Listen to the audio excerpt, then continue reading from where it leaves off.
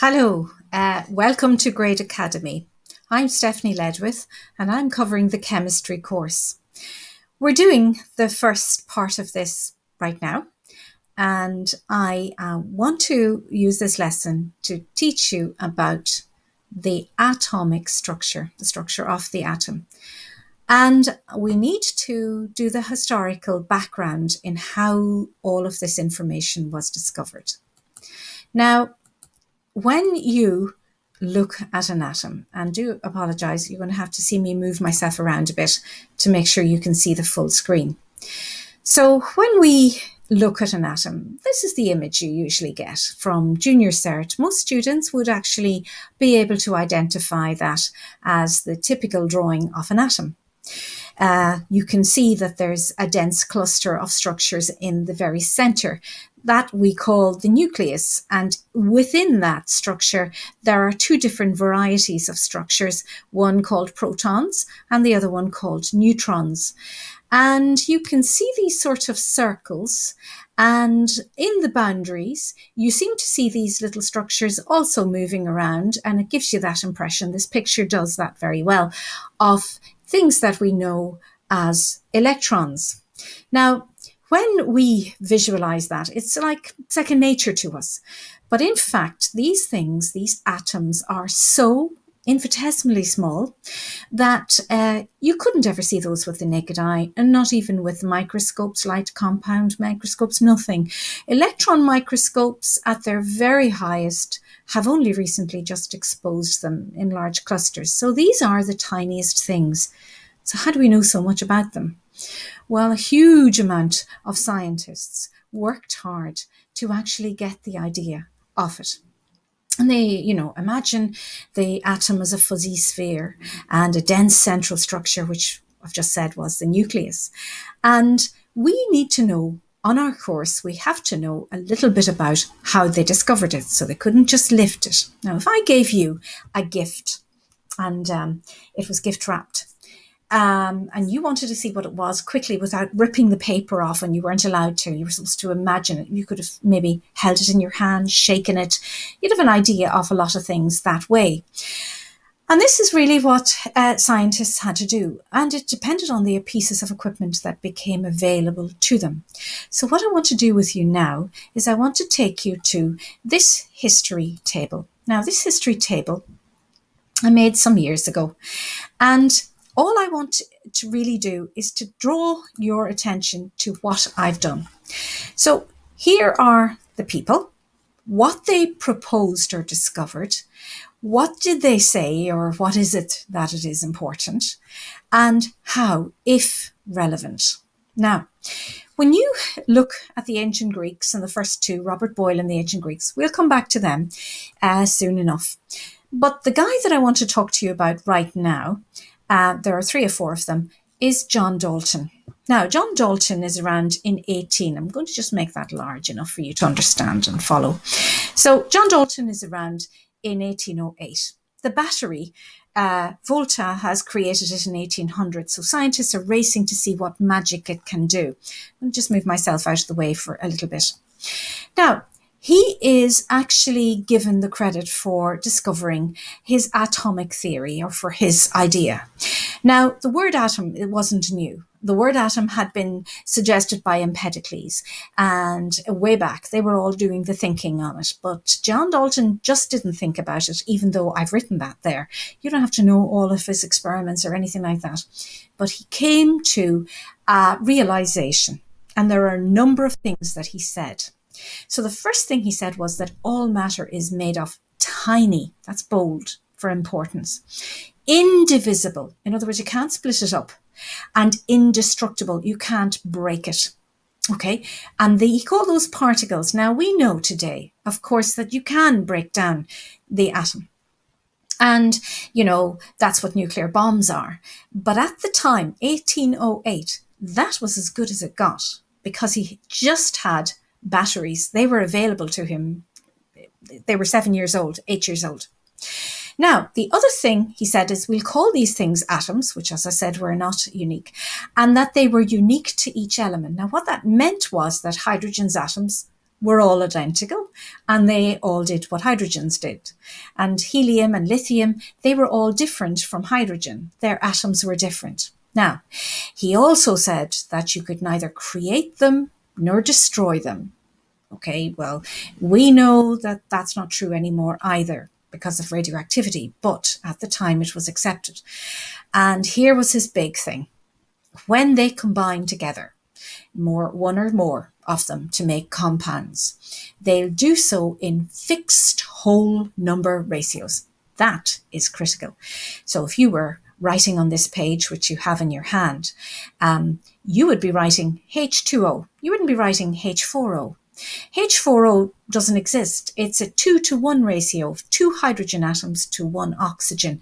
And that is what he's going to bow out. That's what he said. And he's actually done well. Now, with the advent of batteries, we're into the next guy. Now, the next guy, his name is William Crookes. He is famous for having discovered what we now know as electrons, but we can't say he discovered them. He saw cathode rays. Now I'm going to take you over to this picture and enlarge the two pictures much more. So I'm going to do that right now. And just bear with me for a sec while I do that. Now, and get the two, and I lift myself out of the way completely now for a second. Okay. What he has is glass blown. And when you could blow glass, you could create wonderful things, a bit like light bulbs. This was quite large. It's about this size, you know, it's quite big. And this guy was able to blow glass and then put tiny little wires into one end of them and superimpose a metal Maltese shaped cross. And down here in the blown glass, um, the scientists were able to put a disc and wire out. But the wonderful thing about these blown glasses, you could draw out quite a, a, a lot of the gas in there. So it dropped the pressure and there was a sort of a partial vacuum. So whatever gas was in here, which would have been air, that had a very low pressure and it meant that you could pass electricity through it. So the batteries were here and this part of the battery, which is called the anode, was connected to the positive end. And the disk wire was connected to the battery. Now, when it was switched on, the beam, they didn't know what it was. They decided to call them cathode rays because they were leaving the cathode, which was negative. And whatever it was that was leaving, it traveled in straight lines just like light does. And the beam was traveling out here and traveling out there. When it hit the anode, it struck the anode and stayed on it. But the ones that didn't quite hit the anode passed on past. And when they hit the globe at the end, they boom and they hit the globe and they actually caused fluorescence. So they glowed. So when you did this in dark light, there was a glow. Now, when William Crookes was playing with that, he also developed this structure here. Now let's have a look. This is a picture directly from the Leaving Cert exam paper in 2008 or 2000, sorry, in 2015 or 2014. And well, let's have a little look at it because this is literally that as well. The two of them are very closely related. So this is still a glass globe. Okay, this is still a glass globe and the air has been drawn out of it. So it's a partial vacuum, low pressure, atmospheric pressure. And this is the cathode and this is the anode, no longer in a cross form. And what happens is you connect this to one end of the battery and this to the other. And this is a paddle wheel, a bit like two railings, and on it you have the paddle wheel. Whatever this beam did, these cathode rays, they actually moved the pedal and the ped- paddle wheel, the pedals, the pedals of the paddle wheel, and it pushed it towards the anode. So whatever in here underneath it is, the beam of rays moved the paddle wheel towards the anode. So what William Crookes had seen, he showed that some form of radiation he didn't know what it was. He said that some form of radiation passed from the cathode to the anode when current passes through a vacuum tube where the air has been sucked out. He called them cathode rays. Now, he's done a wonderful job and he has set the stage. He walks away. That's as much as he could do. And I want to now tell you about the next guy. So I'm going to go back over here and I'm going to ask you to look at this picture and that one. So this was what was published, everybody could see it, and a scientist called J.J. Thomson took this on board and went a step further. So here we have your battery. I'm hoping that you can see this. I'm going to take it over. His name's J.J. Thomson. Now, what he does is he allows the cathode, just like here, he allows the cathode rays to produce a beam, and he has the anode here, just like that's the anode, and like that's the anode there. So the beam, so the, the cathode rays are moving along here, and then there's a kind of a little gap, a slit. And when they come along here, they instead of fluorescing, they'll go straight across and they'll leave a little glow here. But when they actually, when J.J. Thomson put a negatively charged plate here, this beam actually was repelled. It was deflected, if you like, downwards away. And when this was positive, it seemed to be almost attracted to it.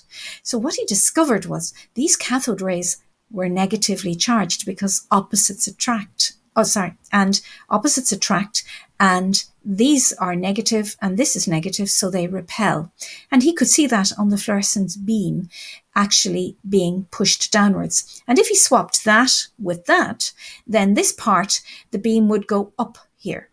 Now, he is the guy, and J.J. Thomson, not William Crookes. I skipped Stoney for a second. J.J. Thomson is given the credit for having discovered the electron.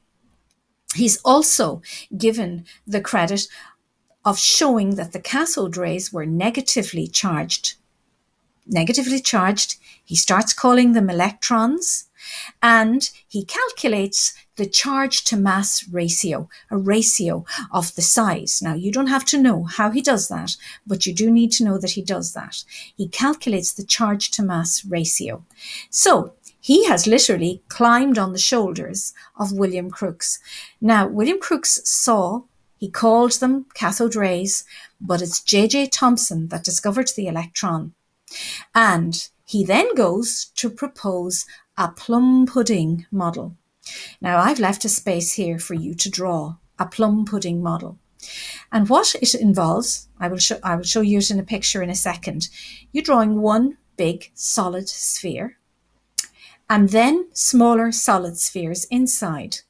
And you put negative charges in the smaller spheres because what he ID or he envisaged, this is his atomic theory, he envisaged that the atom was a big sphere and embedded, it was all positive, and embedded in it were like cherries in a Christmas pudding, plums uh, at that time, plum pudding, that these were negative electrons. Now, J.J. Thomson has set the stage and he has helped us with the discovery of the atomic structure. Now, so he has discovered electrons and he has made a model. And his atomic theory remains accepted for a very, very long time. The word electron didn't come from him. Again, that's a Greek word. and the Greek word was actually um, proposed by our very own Irish Johnstone Stoney. Now, Johnstone Stoney isn't famous for anything else except for when J.J. Thomson had discovered the electron and had made his plum pudding model. Johnstone Stoney suggested to the scientific community from his little position in Galway, in University College Galway, UCG, uh, NUIG now as it's known, he suggested that these negative particles that Crookes had called cathode rays and J.J. Thomson had found them to be negative and found their ch- charge to mass ratio, he said, let's call those things, these little negative particles, electrons. And we're proud of that and because he's Irish, and uh, that's what we have to know about him. Nothing else required, as you can see. Now, 1911, the Titanic is halfway on its way. There's a lot of things going on, and the new development of radioactivity becomes available. And Ernest Rutherford stands into the spotlight. Now, he is being made famous for having discovered the proton and the nucleus. Now, he's famous for two big things discovering the proton and discovering the nucleus. Now, I'm going to just get as far as here and take you to that detail. So I'm going to just take myself down here for a second. And I want you to have a look at this picture. This is our representation of what we now know an atom is a big, big, wide outer circle and a dense nucleus. But that was not the way it was initially. And this is really important that you, you understand what I'm looking at here. So this is what we know. But as far as anybody else was concerned, there should have been a plum pudding model here. But the new toy was a thing called an alpha particle. And an alpha particle is literally two protons and two neutrons. We didn't know that at the time, but these things were able to be detected if they passed certain things. So when they passed through uh, pieces of paper, they would go right through and they would speckle photographic paper, which was a black sheet, and uh, you could develop it and you could see where the beams went. So what um, Ernest Rutherford did was he took a long line a thin sheet of gold. He made an assumption that they were only one thick. So I've just drawn three atoms of gold and I've deliberately written 79 plus there because that's what was in the nucleus of every gold atom. Didn't know that at the time. So these guys are sitting um, in a big sheet. And what he did was he fired the beam of alpha particles at them. Now he said he thought that the beam would go right through get a few deflections, or they would only go through where there was a gap. What he discovered shocked him and the scientific community because the most important thing is most passed straight through undeflected. So all the beams, if you can look at this arrow, that beam's gone through, that beam's gone through, that beam's gone through. But then sometimes they went at a large angle they some, so most went straight through. Some were deflected at large angles. Now, what were they hitting that would make a beam like this one was going straight through? And why was this one suddenly taking a, a bit of a nosedive? And then people couldn't work out. So the detectors, the photographic detector, one day, Geiger and Marsden were walking down the corridor and they met Ernest Rutherford and they said, there's huge deflections. And for some reason, and Rutherford could never explain why, he said, put the detector back behind the actual alpha emitter. So the alpha emitter is coming from this side and they're going that way. And they had all the photographic plates and the detectors, the Geiger counters over on this side and all the way around. But for some reason, he suggested they put them back here. And what they saw was occasionally some beam actually came straight back. Can you see this beam hitting the something? They didn't know about the nucleus yet, and then coming straight back. Now that blew his mind. Now the Department of Education have a wonderful little simulator, and it was given to all the science teachers a long time ago. And I want you to see it now for a minute or two. This is the photographic paper, and this is the gold foil. Now this sheet has been opened up and it sits down here along the bottom. And what we want to do is we want to see the beam of alpha particles coming through, hitting the gold foil. And as you know, most go straight through and they will leave speckles here. So what I want to do is I want to make this rather fast. So I want to make it quite strong, relatively high, and I want them to remain. I want the beams to remain. So I want you to just quickly have a look. The beam is going through here, and as you can see, most of the beams are going there. Now, you should also see that each speckle is registering. That is there. Now, you can see that most of the green specks are actually there. But you will find, if I left this running, that there's a few now starting to appear right out here. And if you did this for long enough and then you developed them, you would find a few out there. And mathematically, and a few over here, you can see there's one there. So that might have been there or over here. And if I were doing this really small, slowly, one will actually see that going all the way back and you will find specks here and specks there as well. So this actually proved that something was in there. Now I'm going to minimize that. So what he said was, here were the three observations. Most passed straight through. Some were deflected at large angles and a few were repelled back. Now he concluded, there is three observations. His conclusion is, since most went straight through, practically all of the atom must be empty space or isn't stopping the alpha particles. How did he know that this middle part was so small? Because very few were repelled back. And how did he know that they were positively charged? Well, he knew that the alpha particles were positively charged, so like repelled like. So if this was positively charged, something in the center must have been it. So what did he do? He bombarded thin gold leaf foil with alpha particles and detected these particles around the foil. Most were only slightly deflected.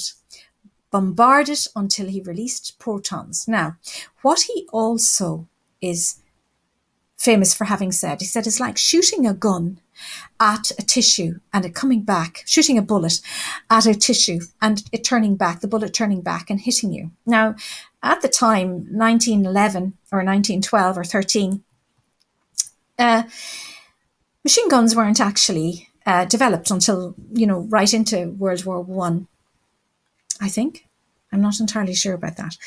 But I think it'd be more appropriate for him to have said, it's like firing a machine gun at a tissue paper and practically all of the bullets going through, but then just one turning around and coming back. That's more like the truth. Because remember, most of the stuff went through.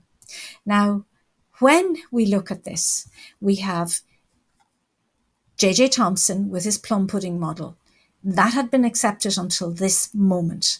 And then suddenly we have Ernest Rutherford, the New Zealander, who bombarded gold foil and he found that there must be a nucleus. And later he finds the proton. So he showed that the atom was mostly space with a dense nucleus, and he bombarded the atom's nuclei and eventually pushed out positive particles, which he called protons. Now I'm going to stop the lesson there. So you know about Ernest Rutherford, you know about our good old J.J. Thomson and his plum pudding model. And you also know about Johnstone Stoney deciding to call those electrons electrons. And you also know about William Crook, who first saw the electrons but called them cathode rays. And John Dalton, who was the first one to actually describe an atom. So I hope you found this useful. And I want you to know, as I'm saying, that um, I want you to thank you for watching the Grade Academy lecture. Next time, I'm going to finish the atom history and then go on to describe how elements were also classified as they are. Okay. Thank you. Until next time, happy learning.